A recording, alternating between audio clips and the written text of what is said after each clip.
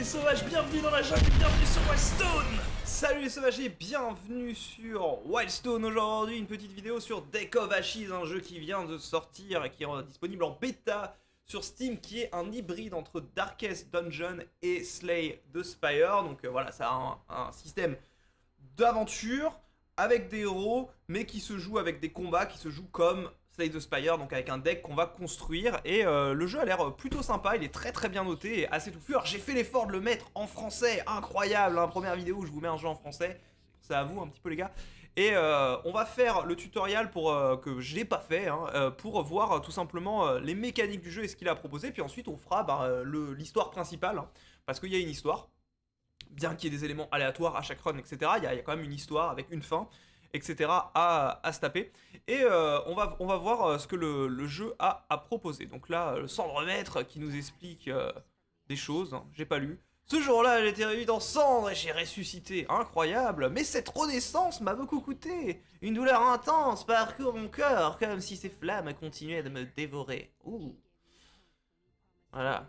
Il m'a donné de l'espoir quand il m'a promis de me débarrasser de cette souffrance. Je dois le rencontrer aujourd'hui. En échange, il me demandera de lever la malédiction de cendre. Je n'ai pas tellement le choix. Ok. Petite histoire, ok. Le cendre maître. Tu te rapproches, enfant du feu. D'accord, enfant du feu. Je peux sentir ta présence. Cet endroit est dangereux. Prends garde. Ok. Là, je suppose que c'est la map. On va pouvoir euh, se déplacer. Ok, sur un événement où il n'y a rien. Donc, euh, délire un peu... Euh, à la Slay the Spire, hein, où on a la tour hein, qu'on monte avec, avec les événements. Nombre de droit de base, bon, traversé. Ok, d'accord. Donc là, petit symbole, je suppose que c'est un combat. Début de bataille, incroyable. Les attroirs qui sont plutôt sympathiques, hein, un style particulier. Mais euh, on, peut, on peut souligner quand même la, direction artistique du jeu qui est quand même euh, plutôt, euh, plutôt sympatoche. Alors, ouais, c'est notre personnage, c'est les PV, on avait compris. S'il tombe à zéro, on est mort. Ça, c'est le méchant. Ouais, avec ses PV, quand il tombe à 0, il est mort. Et là, on peut voir ce qu'il va faire. Attaque frontale, inflige 10 points de dégâts, d'accord. Déplacer, ouais, d'accord. C'est fait. Et là, nous avons donc notre deck où nous avons étincelle. Inflige 3 points de dégâts à l'adversaire. Vous n'avez pas besoin de cendre pour fabriquer cette carte. D'accord. On va savoir ce que c'est. Et les boules de feu infligent 10 points de dégâts euh, à votre adversaire pour 3 mana. Donc là, c'est notre deck, ok. Qu'on peut voir. On a les cartes, le coût en mana, ok, donc on a 5 de mana. Jusqu'à tout va bien. La carte coûte 3, ouais. Donc là, on va prendre la carte, ouais, donc ça fait 10 points de dommage. Et on va les mettre dessus, et il prend 10. Ok. J'aurais préféré un petit truc un peu courbé, tu vois, moins, moins straight. Ça va être plus joli. Les cartes jouées sont brûlées et placées dans votre deck de cendres. Ah, d'où le nom du jeu, Deck of Ashes, un deck de cendres. Elles ne peuvent pas être réutilisées. Ah d'accord, donc c'est pas comme c'est Spire où quand on a essayé toutes nos cartes, le deck est, échauffé. Là, euh, non, ça part, euh, ça part dans les limbes. Ok. Du coup, il euh, va peut-être falloir trouver un moyen de les récupérer. On a euh, terminé, on a plus de mana, donc on peut faire fin de tour avec espace. C'est plutôt sympa, en appuyant, d'accord. Apparemment, espace, il ne veut pas. Il a fait dans l'attaque, j'ai pris 10 de vie. Hop, je pioche, d'accord. on va lui mettre une... On va lui remettre une boule de feu. Hein. On a un deck, ma foi, étincelle boule de feu. Ok. Passer le tour. Prends 10. D'accord. Donc c'est un tuto, hein, donc là il ne doit pas avoir énormément de trucs. Ah Le pack de cendres vous permet de régénérer des cartes dans le deck de cendres contre des points de vie de votre personnage. Ah quand même. Donc là en fait, effort 15. Donc on va perdre 15 PV et on va régénérer 5 cartes au hasard. Ok, donc on va remettre une boule de feu. Et après on va régénérer parce que ça, ça a l'air faible. On va se donner des chances de récupérer des boules de feu. Ouais, ok. Il y a quand même une sorte de mécanique comme ça. Et là, on va pas pouvoir le finir. On est deux off. Lol. Et donc le zombie nous remet 10. Premier fight, c'est vénère quand même de perdre, euh, de perdre des PV comme ça parce que on a 55. Bon, on va le terminer euh, dans les règles de l'art avec une boule de feu. Je pense que c'est pas le truc le plus smart parce qu'elle est brûlée. Donc euh, on doit la récupérer, mais c'est pas. Sans remettre, reprends ton souffle après ce combat et continue ton chemin. D'accord. Vous avez subi des blessures. Après chaque bataille, vous montez une tente. D'accord. Cela vous fait gagner des points de vie. T'imagines euh, dans la vraie vie L'aventure épique. Bon bah, imagine le Seigneur des Anneaux. Bon, bah, je suis un orc les gars. Bon allez, on se fait une petite tente. Alors, cela vous fait gagner des points de repos que vous pouvez utiliser pour vous soigner. D'accord. Voici les points de repos. D'accord. Dépense des points pour gagner de la vie. D'accord. Donc là, je clique et je récupère 10%. Ouais, donc 10 euh, PV quoi. Ok, donc on va se remonter. Est-ce que ça remonte entre chaque fight ou est-ce qu'on va rester euh, bloqué? D'accord. Donc là, on avance. Tu es prêt? Continue comme ça. Pas de problème. Pas de problème, Zoran, on y va. Ouh, on arrive.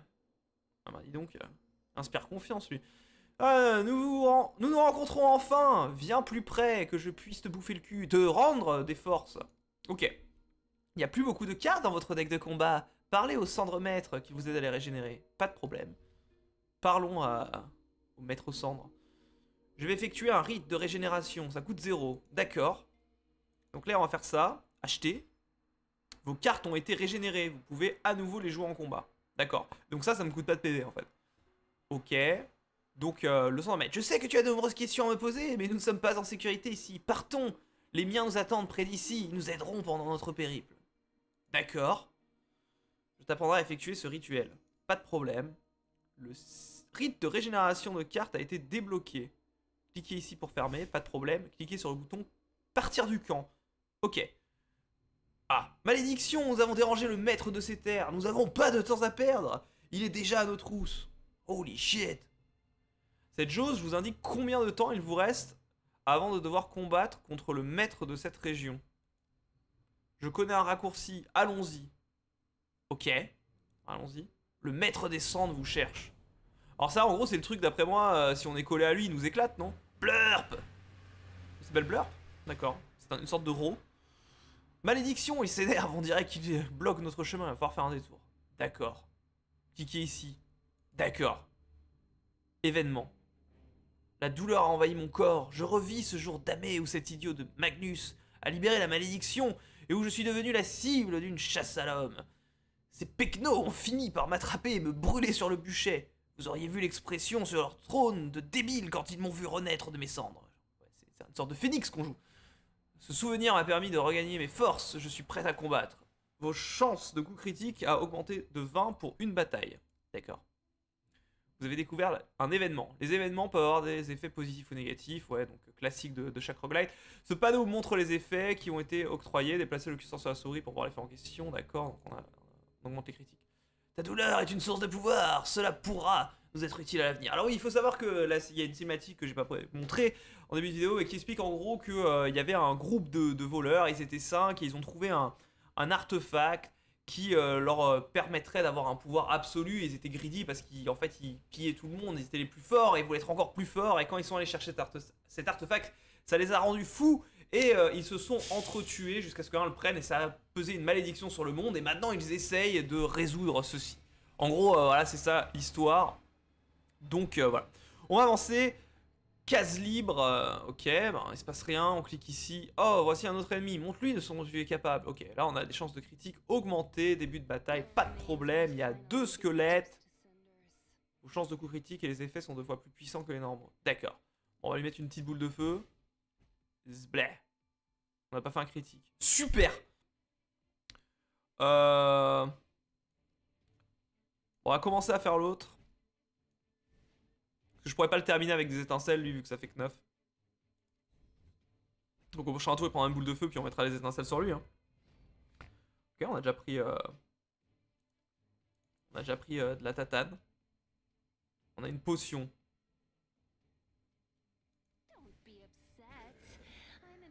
J'ai l'impression qu'ils vont nous faire, qu'ils vont nous forcer à jouer la potion.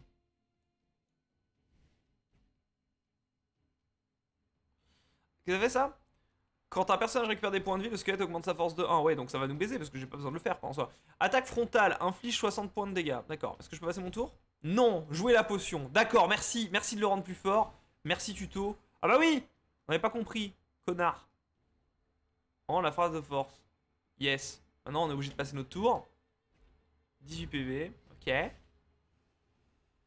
Alors, je vais euh, mettre la boule de feu. 6, ok. On va faire ça pas suffisamment de mana. On va régénérer des cartes. Hop, hop. On passe, hein. Ok, 53. on perd quand même vachement de vie, hein. heureusement que c'est pas comme Slay de Spire où t'en regagnes jamais. presque. Cliquez ici pour récupérer votre récompense de bataille. Ok, on, récupère des, trucs. On ne sait pas ce que ça fait pour l'instant. Ah, il est temps d'utiliser ta nouvelle compétence. Tu peux désormais régénérer des cartes utilisées contre des points de repos. D'accord. Donc, euh, évidemment, on va régénérer les boules de feu parce que c'est super fort. On va régénérer de la vie. Je suppose que c'est tutorisé qu'on doit tout régénérer. Vas-y, continue. ok. Pour l'instant, il n'y a pas de choix. Mais ça, ça va avoir des implications, je pense, euh, assez importantes sur une run après. hein. Parce que d'après moi, on va brûler plus de cartes que ce qu'on a besoin. D'accord. Alors, euh, Poulpeman, il est, euh, il est énervé. Il y a de nouveaux morts vivants droit devant. Euh, on va avoir besoin d'un deck plus puissant pour les vaincre. Suis-moi, je connais un endroit où on trouvera des cartes. Pas de problème. On, va à un événement. Vous devez atteindre la case de l'événement. Certains événements peuvent être vides. Après quelques temps, une case vide peut être occupée par un autre événement. D'accord. C'était vide. Ça, ça, ça évolue aussi au cours du temps. D'accord. Est-ce qu'on veut revenir en arrière? Vous avez trouvé une recette. Parchemin de suprématie. Injouable. Cendre. À la fin de votre tour, inflige 3 de dégâts à l'adversaire qui a le moins de points de vie. D'accord. Nous avons réuni toutes les recettes nécessaires. Allons-y. Ça fait quoi?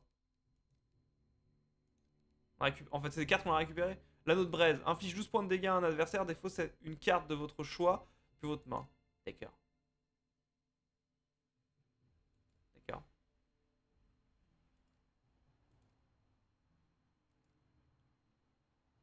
Ah, c'était une embuscade. Ok. Squelette Man. Sbim. Ah, Sbim et Sbim. Hein. C'est pas comme si on avait beaucoup de choix. Bon, ça reste un tuto, hein, bien sûr. Ok, on récupère 70 000 étincelles. Ok, bah boule de feu dans ta gueule. Étincelle, étincelle. hein. Ok, puis il va, il va mourir. Sbim. Et Sbim. Je sais pas ça vaut la peine de... de jouer la... de perdre des PV si on peut la gagner après. D'accord. Un nouveau rite. Problème. Vous pouvez désormais dépenser des points de repos dans une tente pour fabriquer des cartes à partir de recettes. Voici les recettes. D'accord. C'est de la cendre. D'accord. Vous en aurez besoin pour fabriquer des cartes à partir des recettes. Pas de problème. Fabriquer les cartes anneau de braise et parchemin de suprématie. Bon bah. D'accord. C'est fait. Ta puissance grandit, il est temps que tu ailles vaincre les monstres. Pas de problème. Bah on va...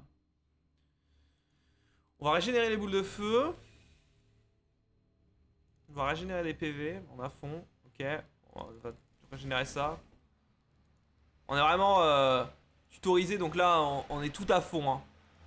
Blurp Il est pas content. Il est temps de faire notre ménage sur le chemin. Teste donc tes nouvelles compétences sur le champ de bataille. Ok, pas de problème.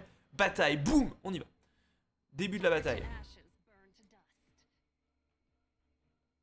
Faites de puissantes combos.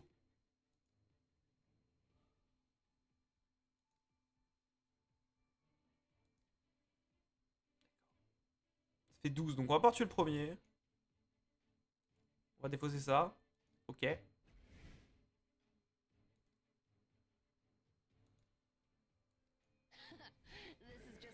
Et derrière, on a rien à jouer. Ok, fine.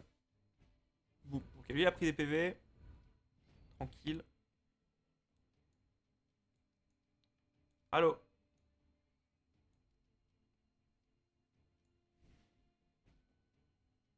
Je peux pas le tuer. Je vais mettre à portée d'étincelle, comme ça on pourra boule de feu l'autre. Ok, pas besoin de jouer à la potion ici.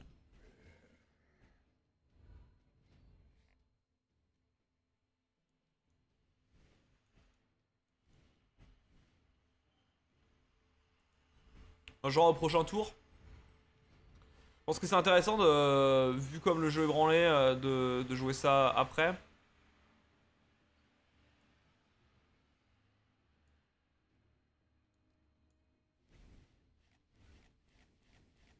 Ok, ça on sort du truc, donc normalement je devrais en avoir moins, je vais restaurer de la vie et puis on va, on va la brûler. Yes.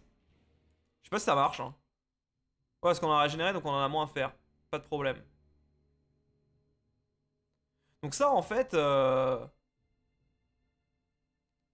si c'est dans nos decks de cendres, ça marche. Donc pas nécessairement besoin de, la régénérer, si j'ai- bien compris. Pour régénérer la potion, et puis on va régénérer de la vie. Hein. Ok. Récupérez vos points de vie et régénérer les cartes. Ah oui, étincelle. D'accord. Ok, on peut avancer. Le maître nous trouvera bientôt Il faut rapidement améliorer le camp pour que le forgeron vous confère la force de le combattre. D'accord. Oui, oui. Ah, utilise ce bouton pour extraire des ressources. Il y a vraiment beaucoup de trucs. hein. On a récupéré 4 cristaux. D'accord, il y a l'air d'avoir aussi beaucoup de types de ressources. Hein. Là, ils ont introduit les cendres, de, l'argent, les cristaux, on sait pas ce que ça fait. Il y a des arbres, des amulettes, du pinard et des clés. Donc sûrement des coffres et, tout ça, quoi. A assez touffu quand même. Ouvrez le menu de l'amélioration. Coucou, monsieur le forgeron. Son propre type de ressources pour acquérir les améliorations. Le forgeron utilise du minerai. D'accord. Dépenser le minerai extrait pour pouvoir acheter des traits. Traits. Utilisez vos ressources pour débloquer l'amélioration. D'accord. Dans l'onglet des traits. J'ai trouvé de l'or. Dépensez-le contre un trait. Achetez un nouveau trait. Mais on, sait ce que ça fait? Ah, vous subissez 30% de dégâts en moins de la part des cartes effort. Ok.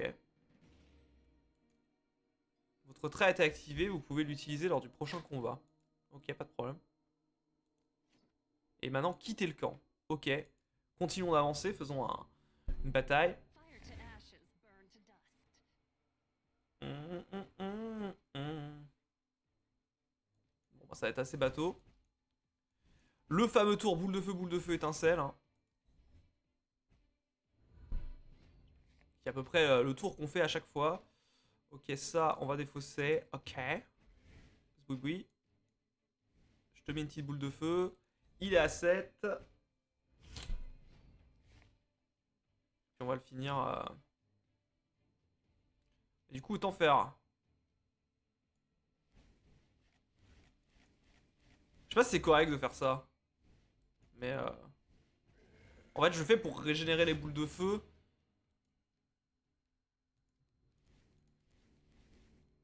Je pense que c'est value parce que euh, au final on récupère des PV, etc.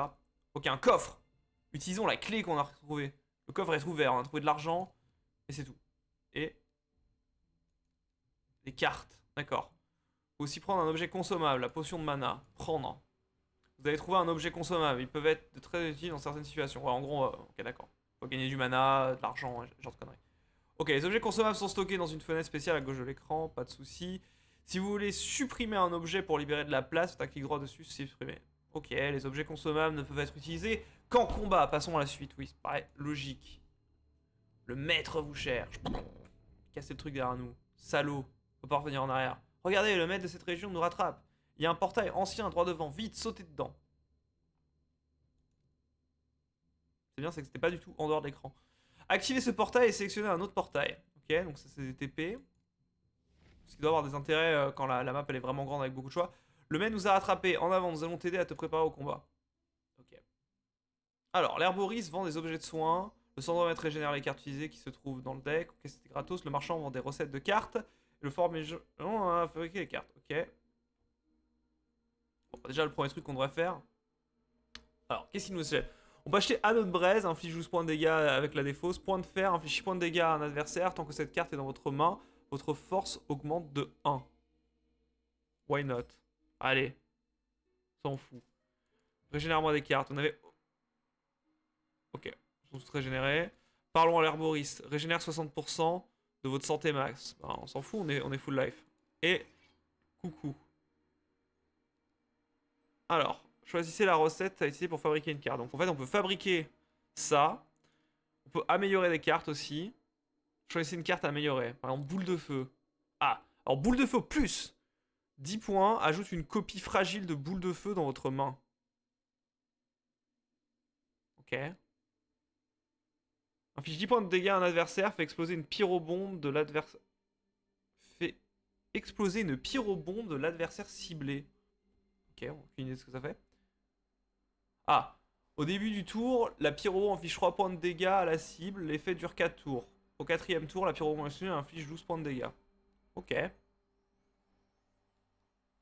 Alors que si, si, cette carte est détruite à la fin de la bataille ou quand elle est défaussée au deck de cendres. Celle-ci, Brûlure à un adversaire.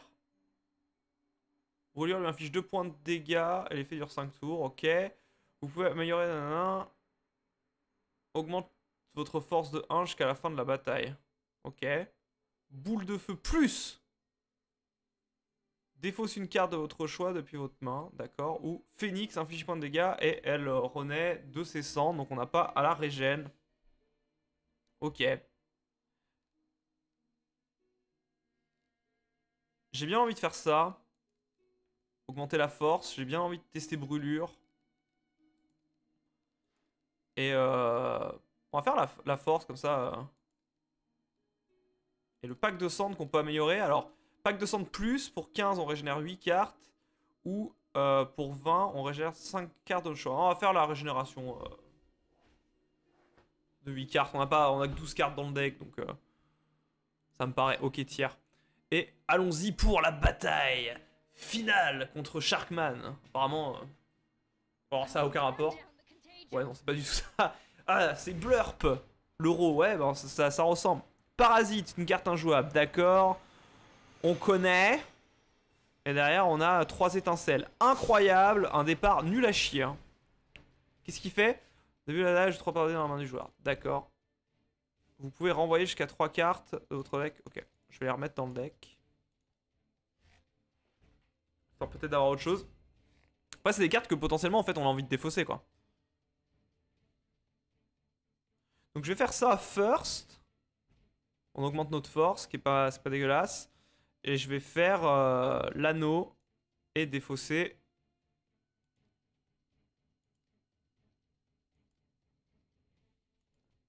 Ok. En fait, j'attendais qu'elle s'affiche là. J'ai trop habitude de, de Slay the Spire où c'est- monté. Euh, non, puis aucun intérêt de se soigner. On va passer. Ok, il il prend des dégâts de brûlure. J'ai une force augmentée de 3. Du coup, euh, étincelle à 4. Je sais pas renvoyer, j'aurais peut-être dû aller sick pour une boule de feu. Bah, allons-y. Hein. On va faire la first d'abord. Je vais utiliser la potion de mana. Quand on l'utilise? Ah, ok. Boum Du mana Tiens, bouffe Saloperie. Zbam Oh, éclater le truc.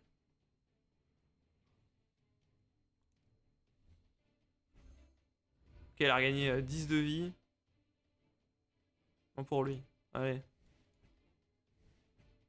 Salut, hein. À la prochaine. Ta-da-da, ta-ta-ta-ta-da. Victoire Incroyable Ah Ouais. Ouais, mes yeux de feu, le voyage commence. Les choses n'auraient pas pu mieux tourner. Je dois partir, il est temps d'accomplir la vision qui ont montré les flammes. Oui. Tadam Ok, bah on est passé sur euh, ce tuto. Alors il y a, l'air d'avoir des mécaniques euh, relativement touffus. Ça a l'air euh, plutôt sympathique hein, comme, comme jeu. On va pas se mentir, mais je pense que ouais, il y aura, a sûrement une belle petite. Belle petite courbe d'apprentissage quand même, hein, parce qu'il y a pas mal de mécaniques à gérer. Déjà, il y a plusieurs ressources, il y a ces sortes de défausses, de points de repos, ce, qui, ce qui a l'air de donner un gameplay plutôt intéressant. Alors, laissez-moi savoir euh, dans les commentaires euh, si euh, ce jeu vous intéresse ou pas. De toute façon, voilà, je pense que je ferai quand même des vidéos dessus. Et puis, si vous y avez joué, n'hésitez pas à me donner votre ressenti dessus, ça m'intéresse toujours. Et puis, peut-être des conseils ou quoi. Passez sur le Discord et à la prochaine les sauvages et ciao ciao Oh, je suis un ultrasaure. Si toi aussi tu aimes faire partie de la jungle, n'hésite pas à regarder les autres vidéos des sauvages. Et à t'abonner, ça leur fera extrêmement plaisir. Mais qu'en sais-je Je ne suis qu'un ultrasaure. Brrr.